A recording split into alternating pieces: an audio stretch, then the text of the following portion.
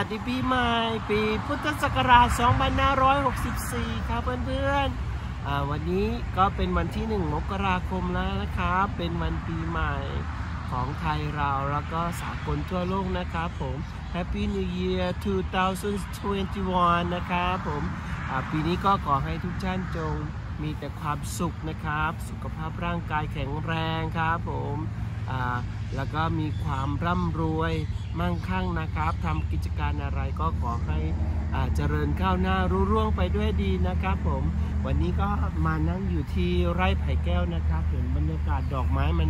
สวยงามมากๆครับผมก็เลยอ่านำบรรยากาศแบบสวยสดใสนี่มาฝากเพื่อนๆนะครับ ตอนเช้านะครับผมเดี๋ยววันหลังถ้ามีโอกาสก็จะพาเพื่อนๆมานั่งจิบชากาแฟที่นี่นะครับ ผมบรรยากาศหน้าหนาวดอกไม้กับ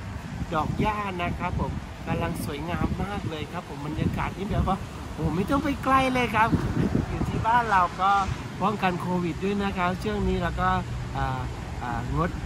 ท่องเที่ยวหรือว่าไปในที่ชุมชนที่มีคนมากๆนะครับ ก็มาอยู่ทุ่งนาเรานี่แหละครับ ผมบรรยากาศดีมากๆครับ ผม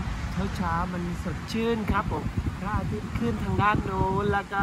มีดอกหญ้าแบบว่าแสงแดดส่องลงมากระทบดอกหญ้าแล้วมันมันแบบเหมือนแบบเปล่งออร่าออกมาครับเพื่อนๆเปล่งออร่าออกมาแล้วก็ทำให้แบบว่าบรรยากาศมันดูแบบสดชื่นสดชื่นอะสดชื่นมากๆก็แบบน้องว่าปีใหม่แล้วก็อยากจะแบบนำภาพบรรยากาศดีๆแบบว่าแสงแดดอบอุ่น ดอกหญ้าสวยงาม ลมพัดแบบ ทำให้แบบดอกหญ้าปิวปิวสวยแกว่งควายนะครับ บรรยากาศปีใหม่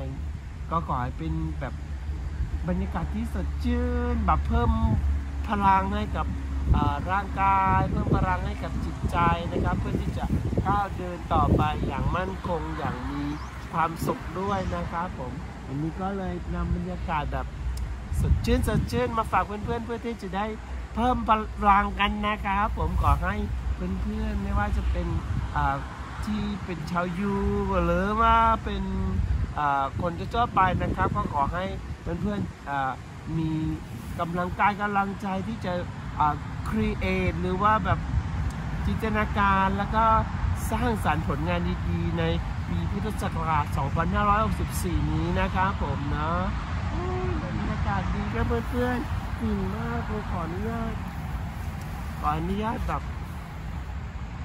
แบบพักผ่อนนะวันวันพักผ่อนวันนี้วันที่หนึ่งนะครับผม